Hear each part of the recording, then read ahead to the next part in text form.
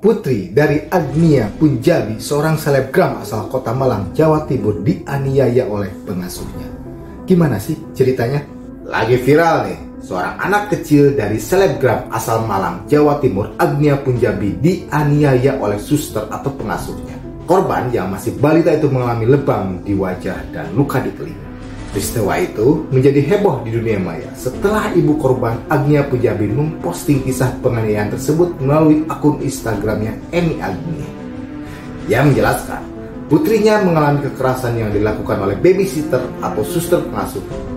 Akibat penganiayaan itu, anaknya mengalami lebam di mata dan luka dalam postingannya itu, Agnia pun menyertakan video yang menunjukkan bagaimana pelaku memukul dan menjambak.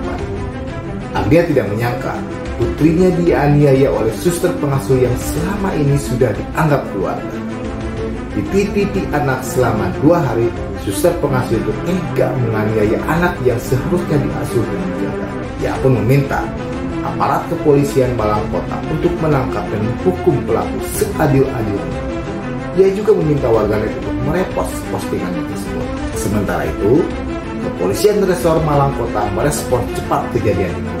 Polisi menangkap pelakunya tak lama setelah kejadian yang menghebohkan warganet tersebut. Kapolres Malang Kota, Kombes Pol Budi Hermanto, Jumat 29 Maret 2024 menyatakan pihaknya sudah menangkap suster pengasuh pelaku penganiayaan putri influencer Agnia Tiga. Pelaku ini sedang menjalani pemeriksaan intensif dan kasus ini ditangani oleh unit PPA Satreskrim Polres Malang Kota. Semoga pelaku mendapat hukuman yang seadil-adilnya ya guys.